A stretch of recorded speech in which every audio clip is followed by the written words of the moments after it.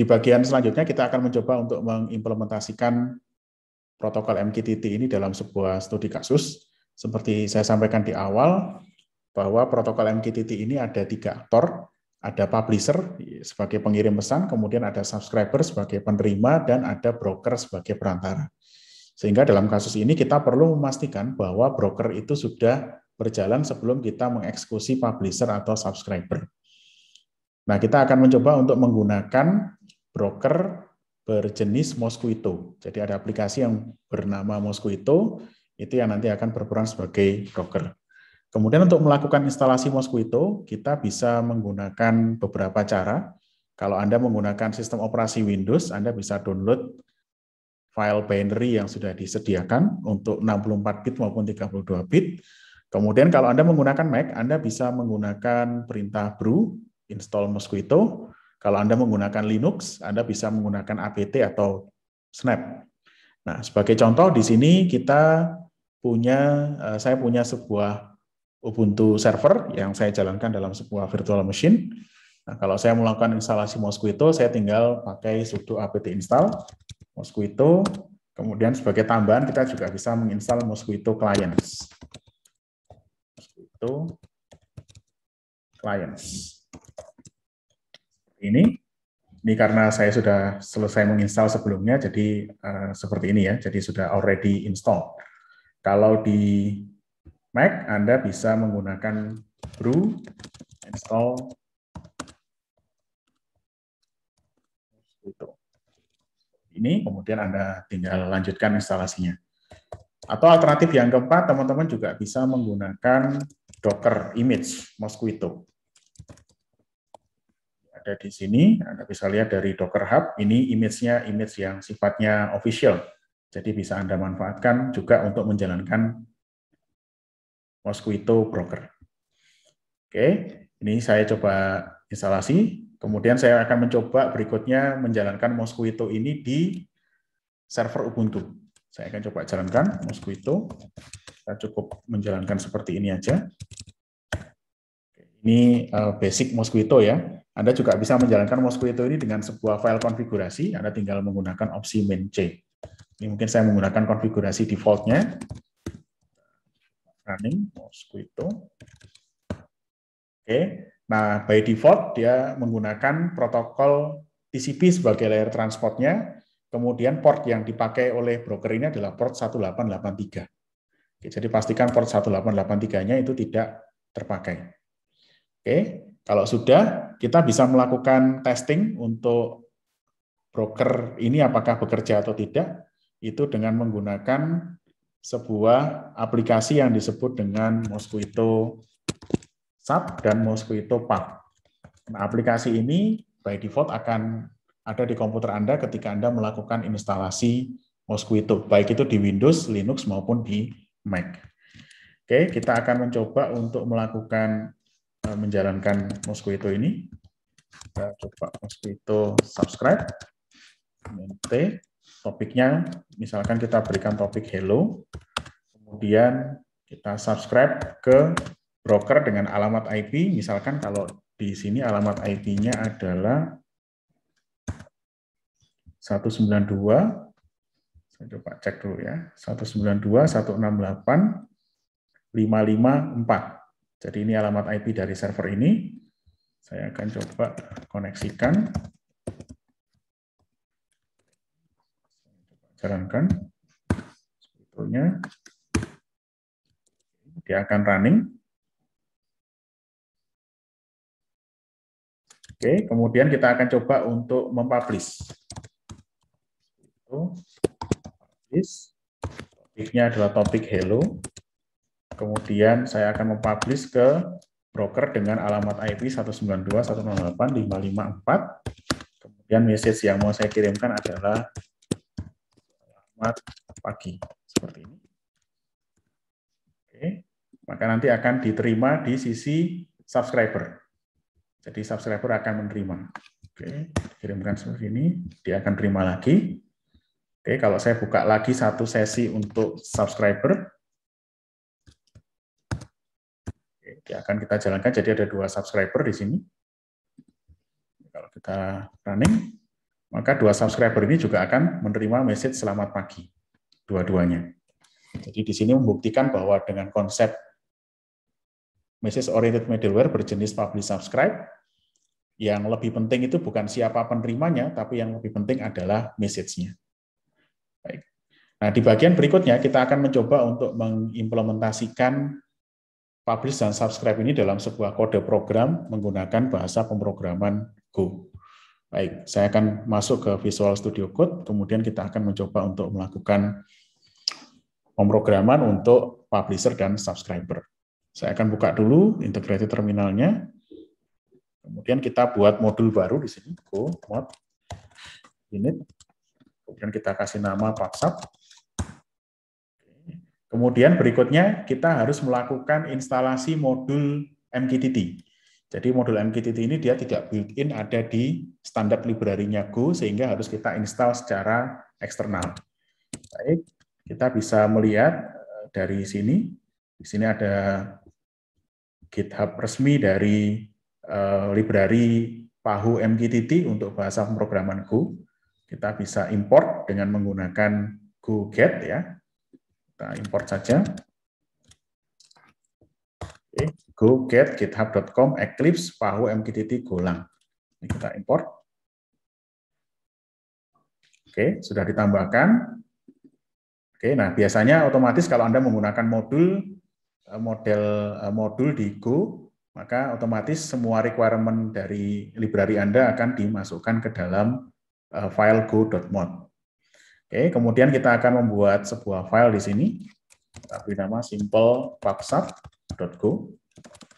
Nah, file ini yang nanti akan menyimpan kode dari program yang nanti akan kita implementasikan. Oke, kita berikan di sini package-nya adalah package main. Kemudian kita deklarasikan fungsi main di sini. Oke, kemudian berikutnya kita panggil opsi, deklarasikan opsi untuk koneksi dari publisher atau subscriber ke broker. Oke, jadi ini connection options-nya. Kita kasih variabel misalkan namanya OPTS ya. Options, kemudian MQTT dot new client options. Oke. New client options seperti ini. Kemudian kita tambahkan opsi sebelum kita koneksi ke broker. add broker. Broker, kemudian di sini kita menggunakan protokol TCP. Brokernya kita sementara pakai broker yang localhost, nanti mungkin bisa kita coba untuk broker yang tadi kita jalankan di Ubuntu server. Oke, portnya adalah port 1883. Oke. Kemudian berikutnya kita deklarasikan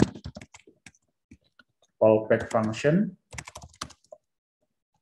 Deklarasikan callback function untuk handling connection. deklarasikan di sini. Sebelumnya kita buat dulu fungsi handling di sini. var connect handler. Ini variabel namanya connect handler berjenis mqtt.onConnect handler. Oke, kemudian kita definisikan fungsinya. Fungsi, kemudian parameternya adalah client dari MQTT.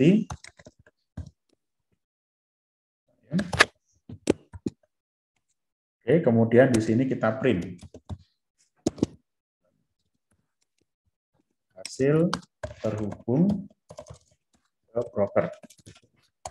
Kemudian kita tambahkan opsinya di bawah ini. Kita sudah mendefinisikan connection callback-nya, sorry callback function-nya. Oke, tes kemudian on connect sama dengan connect handler. Artinya apa? Begitu nanti dia terkoneksi, maka callback function on connect handler, oke, connect handler ini nanti akan dieksekusi oleh program yang nanti akan kita jalankan. Oke, kemudian berikutnya kita set deklarasikan callback function untuk handle message masuk. Jadi kalau ada message masuk ke subscriber, maka nanti akan dijalankan fungsi callback yang nanti akan kita buat. opts.set default publish handler. Oke, di sini kita buat dulu fungsinya var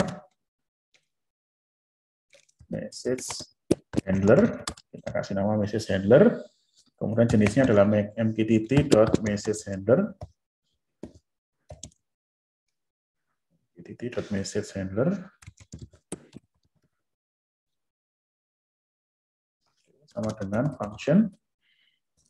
Kita definisikan di situ ada dua parameter, client, mqtt.client, juga message-nya ya.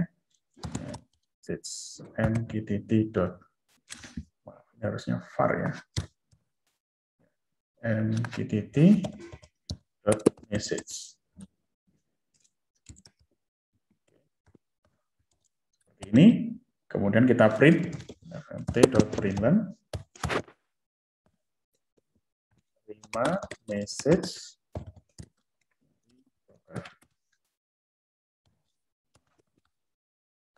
message-nya adalah msg seperti ini Oke, kemudian berikutnya kita masukkan variabelnya ke sini ya.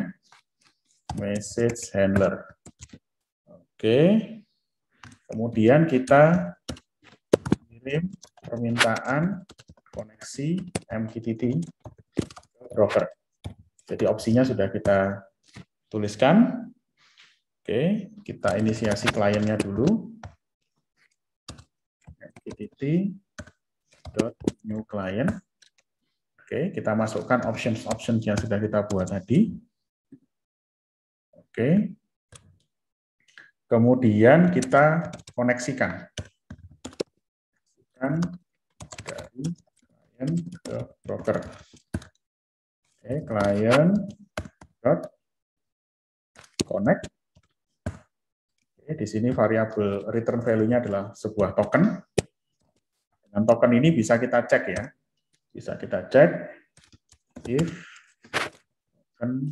wait kita tunggu koneksinya berlangsung Oke, kemudian kita cek apakah ada token errornya atau tidak. Kalau token errornya tidak sama dengan nil.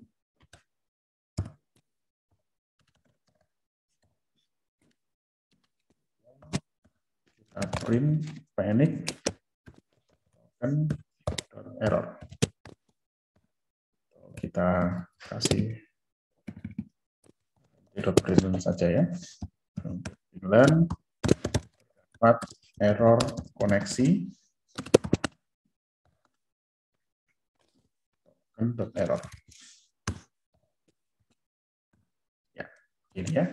Jadi di sini kita membuat klien baru, kemudian kita kirim permintaan koneksi menggunakan client.connect. Oke, kemudian kita handling kalau ada error. Oke, berikutnya kita inisiasi koneksi untuk klien sudah, kemudian kita tangkap input dari user untuk menentukan program dijalankan sebagai publisher atau subscriber. Oke, ini ya. Kita tangkap di sini.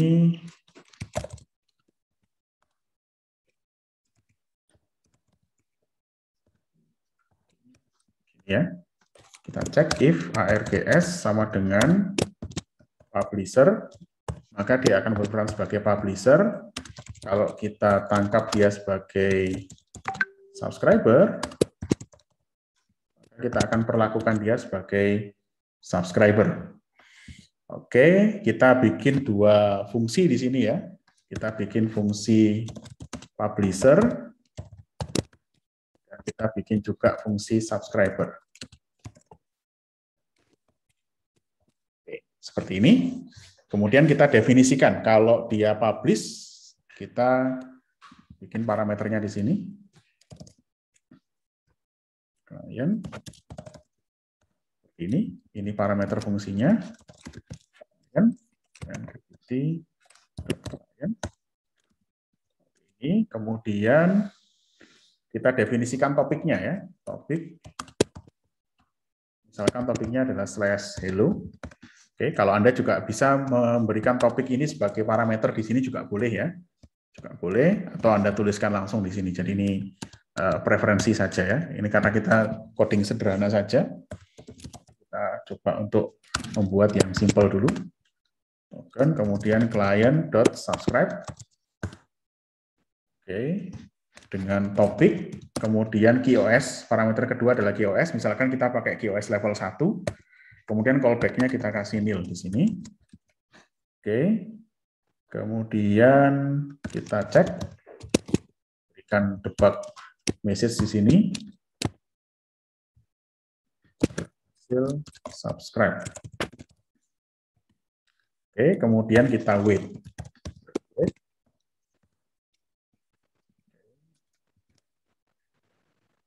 Berikan komen aja di sini ya, menunggu subscribe-nya berhasil. Kemudian di sini adalah topik message. Dan di sini subscribe topik tertentu dan iOS level 1. Oke, kemudian kita harus memastikan bahwa subscriber ini tetap berjalan ya. Maka kita berikan di sini uh, block, blocking ya, block. Mungkin blockingnya di fungsi di atas saja deh. Ya, seperti ini. Dan ini terbalik ya, ini mestinya untuk subscriber. Balik aja. Oke, kemudian kita definisikan publisher-nya. Publisher-nya kita berikan topik juga, kemudian kita samakan topiknya. Oke, kemudian message-nya kita juga definisikan. Misalkan message-nya adalah selamat pagi. Kemudian kita publish ya, client.publish. Oke, kita publish dengan topik tertentu, kemudian QoS-nya kita kasih QoS level 1, kemudian apakah di retain atau tidak, kita false dulu, nggak kita retain, kemudian yang kita kirimkan adalah message-nya. Kurang lebih seperti ini ya. Kemudian kita panggil, fungsinya di sini kalau dia publish, berarti dia nge-publish, kita panggil, parameternya adalah client. Kalau dia subscriber, maka kita panggil fungsi sub parameternya klien juga. Kemudian untuk mencegah supaya subscribernya tidak langsung exit, maka kita blok program agar tidak exit setelah subscribe berhasil. Biar dia running terus. Nah, kita ngebloknya menggunakan yang disebut dengan channeling ya. Jadi di Go itu ada channel, nanti mungkin Anda bisa baca lebih detail. Di sini kita channelkan ke nil ya, sehingga dia akan menunggu terus-menerus. Jadi dia akan ngeblocking di sini. Programnya tidak akan berhenti. Itu kalau dia jadi subscriber, kemudian kalau publisher, begitu dia berhasil publish, dia akan langsung exit. Oke, baik. Saya pikir sudah kita coba jalankan. Oke, coba kita coding, kemudian kita coba jalankan ya. Go, run. Kita bikin seperti ini. Oke, sebelumnya Mosquito-nya akan saya jalankan ya. Saya jalankan lokal saja. Kalau tadi saya jalankan di Ubuntu server, sekarang saya jalankan secara lokal. Oke, dia listening di port 1883. Kemudian kita coba go run simple pubsub sebagai publisher. Eh, maaf, sebagai subscriber dulu. Oke, sekarang ya berhasil terhubung ke broker, kemudian berhasil subscribe. Di sisi broker, di sini sudah ada klien baru terkoneksi, alamat IP-nya 127.001. Oke, portnya yang dipakai di sisi klien ini, kemudian ID otomatisnya ini. Oke, kemudian kita akan nge-publish ya. So, run simple PubSub, kemudian kita publish. Ya, ini terima message dari broker. Ini mungkin message-nya belum kita handling ya belum kita handling dengan benar, mungkin kita message-nya sudah diterima, cuman masih dalam bentuk array of bytes ya. Kita perlu konversi menjadi string. kita perlu konversi menjadi string. Oke. Oke, yang kita panggil di sini adalah payloadnya ya. Ya, jadi payloadnya belum ditulis. Kemudian topiknya juga ya. Oke.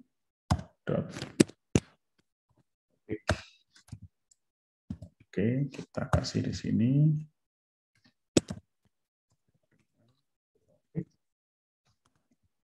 Ya, jadi message-nya aja kita modifikasi supaya ditampilkan.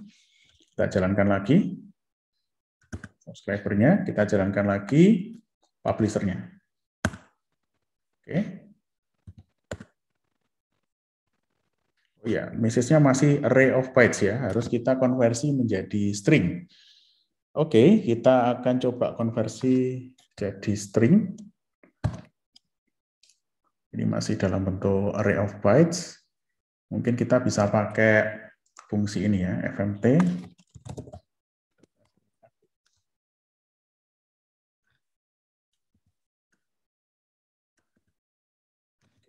printf. Kemudian di sini formatnya s. Kemudian di sini ini array of bytes-nya kita konversi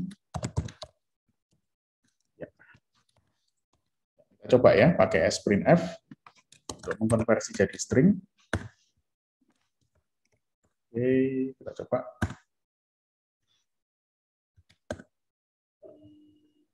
Oke, sudah diterima ya. Terima message dari broker. Selamat pagi dengan topik hello. Oke, jadi ya seperti ini ya. Jadi tadi cuma isu dengan uh, tipe datanya saja. Jadi payload ini tipe datanya array of bytes, sehingga harus dikonversi jadi string dulu. Seperti ini.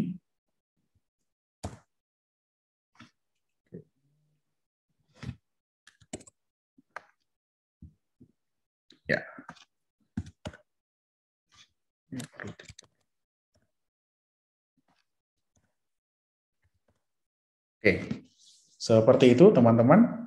Jadi ini adalah contoh untuk implementasi uh, publisher dan subscriber dengan menggunakan bahasa pemrograman Go. Dalam kasus ini kita menggunakan broker lokal dengan alamat IP 127.001.